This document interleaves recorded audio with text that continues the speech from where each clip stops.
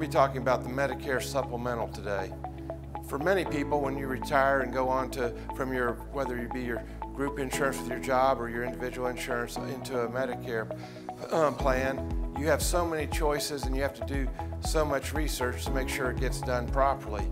Part A is your hospitalization, which is covered by Social Security if you've been working. Part B will be um, is covering your doctors, and that there will come out of your Social Security paycheck. Part C is if it, you want to go to an Advantage plan. Part D is your drug plan. Plan F is now going away for many people and being replaced with Plan G, which has $185 deductible.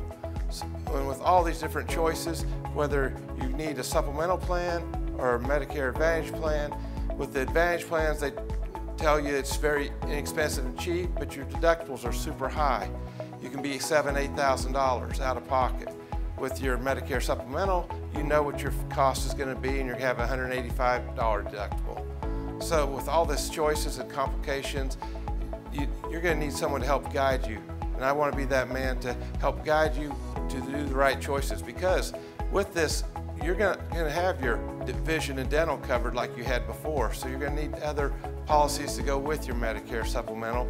So give me a call and we'll go sit down and go over what you need and make sure you're covered for every situation.